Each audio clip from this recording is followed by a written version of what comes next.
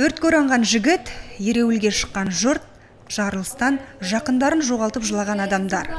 Мұның барлығы да әлем фотожурналистерінің назарына іліккен кадрлар.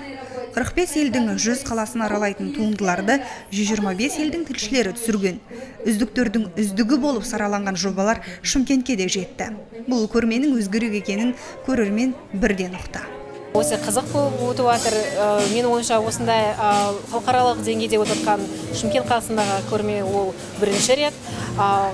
Жан жақтан келген суретшілердің суреттері сегіз номинация бойынша өткен көрсетіліп жатыр қазір таңда. Бүгін ресми ашылу болып жатыр. Екі аптаның екі апта бойында біздің шымкент қаласының тұрғындары осы көрмеге тегін келіп көрсе болады. Сол номинациялар бойынша іріктелетін фотолардың байқауы биыл 23 рет өткізіліпті. Оған фотожурналистердің тың туындылары ғана түседі. Жалпы 4,5 мың фотосуретші қатысса, оның 42-сі ғана жүлдегерлер қатарына енген. Мәселен, венесуэлалық Роналдо Шмидттің мына туындысы биыл үздік деп танылған. 2017 жылдың 3 мамырында ол газ тұмылдырық киіп жүгіріп бара жатқан жігітті түсірген. 28 жастағы хосе Виктор Саласар Балса осындай кейіпте үкіметке қарсы шеруге қатысқан.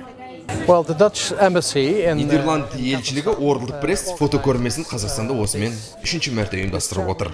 Биыл көрме төрт қалада өтуде.